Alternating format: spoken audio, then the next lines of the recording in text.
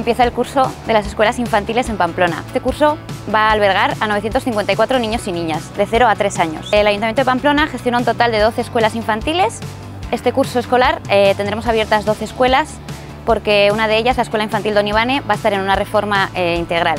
En este inicio de curso de las escuelas infantiles de Pamplona quiero destacar eh, la apuesta del Ayuntamiento de Pamplona por una educación pública de calidad y gratuita. Apuesta por una oferta con modelos lingüísticos diferentes y ajustados a la demanda real de las familias. Estamos en la Escuela Municipal de Mendillorri. Esta escuela me gustaría destacar dos cosas muy importantes. Una de ellas es el módulo de inclusión, que se inicia este curso y por otro lado también me gustaría destacar el huerto escolar, que es bueno, una gran iniciativa de esta escuela infantil.